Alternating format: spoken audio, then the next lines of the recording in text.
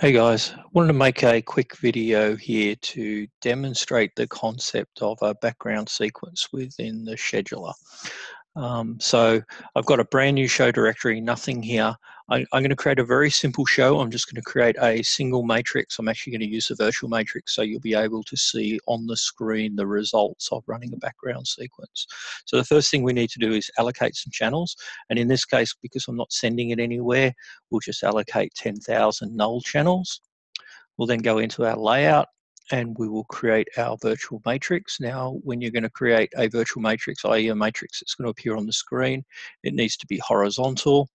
Um, the number of strings is actually equivalent to the number of rows and the number of nodes is 50, so 50 by 50 looks good. Uh, virtual matrix must start at the top left and channel one's a good place to start because uh, we'll just use those channels up. 7,500, we allocated 10,000, we're good to go. So let's go in and create a couple of sequences, um, some simple animations.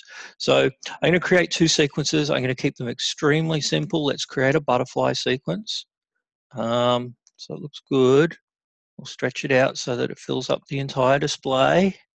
We'll quickly make sure it's all rendered.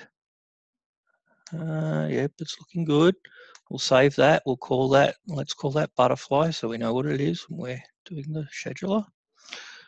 And uh, let's quickly go and uh, drop another one on.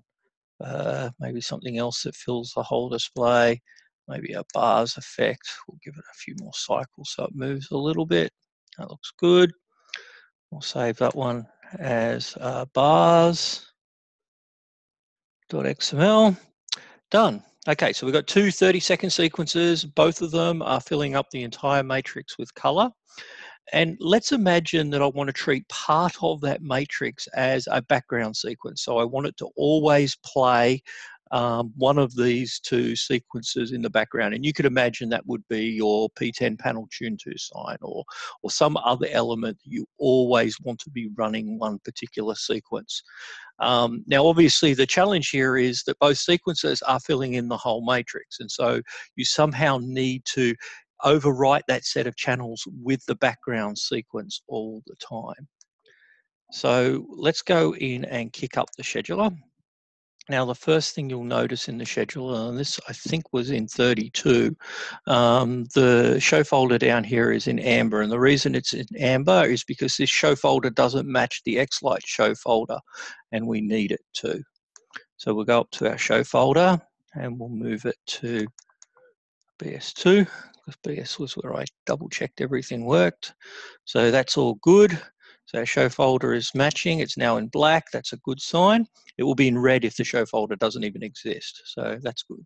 So now we need to add two playlists. So we're going to add um, we're going to add one with our butterfly, which is good, and we're going to add one with our bars.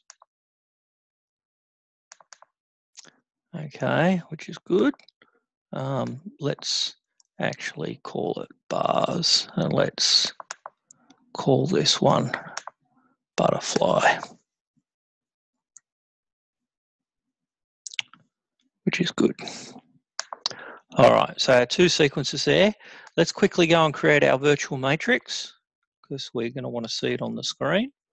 We don't really need to name it. It's going to be 50 high i.e. the same number of strings 50 wide which is fine um, I prefer the normal scaling quality. That doesn't blend all the pixels together when they've been stretched. Uh, we don't need to rotate it. Start channel one was correct. Let's get it out of the top corner there. Let's move it over a bit. Looks good. Okay, okay, save it. All right, so at this point here, when I click play here, it should play my butterfly effect on the virtual matrix, which it does. And if I play my bars effect, it does that. So it all looks good. So now let's make one of these two sequences our background uh, playlist. So let's make it the butterfly. Okay, so now butterfly is our, our background playlist. And if we play the bars sequence, what the hell, our butterfly's there. And the reason for that is that it's actually playing both at once. It's playing the bars sequence, but as a background sequence, it's playing the butterfly sequence and it's overriding it, which it needs to do because if it's going to be a background sequence, it's obviously going to need to overwrite some of the channel data from the bars effect or from the bars sequence because they are they map to the same channels. And so now what the hell, I can't see anything.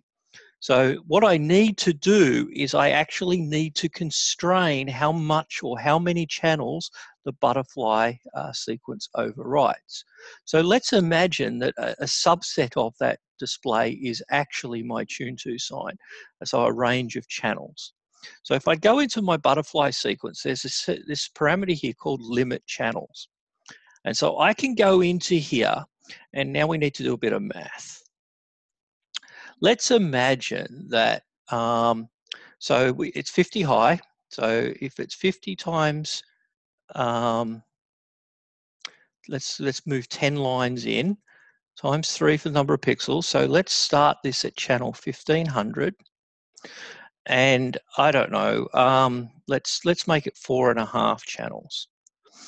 So this is a seven and a half channel element. So this is going to leave, eh, this is going to override basically the middle 60% um, of that matrix. Now it's it's doing it by channel, so it's going to go from top to bottom because remember our virtual matrix starts at the top left. So if I play the butterfly effect now, you'll notice that it leaves the bars at the top and the bottom. So it's only going to play in the middle. Okay, so what we would expect when we play a normal sequence, if the butterfly effect was the background, is we'd expect to see our bars up here and up here, and then we would expect the butterfly to overwrite the middle. And this is our tune to sign, which is where we'd want our background sequence to play. So that's good. So let's come to the bars effect and play it. And what do you know?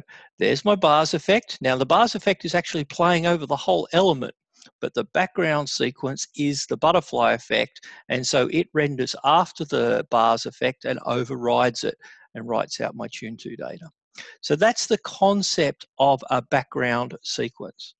Now there is another way to create a background sequence. You can go in and just export a model to an ESEQ file, um, in which case you don't need to do the constraining because obviously that already um, gets done by the um, the fact that the ESEQ file only exports a limited set of channels. Now there is one other thing that I'll show you before we finish up here. Um, this is set up here to overwrite the um, uh, the the the as a background it's, it's set to override the sequence but it doesn't have to. You could average it for instance and now when we play the bars effect you will see that it actually overlays it and blends it together. So you can still see the bars through it um, so that creates some interesting possibilities for how you lay out your background sequence over your P10 sign. Maybe, maybe you don't want it to entirely hide your sequencing on the P10. Maybe you just want to overlay it.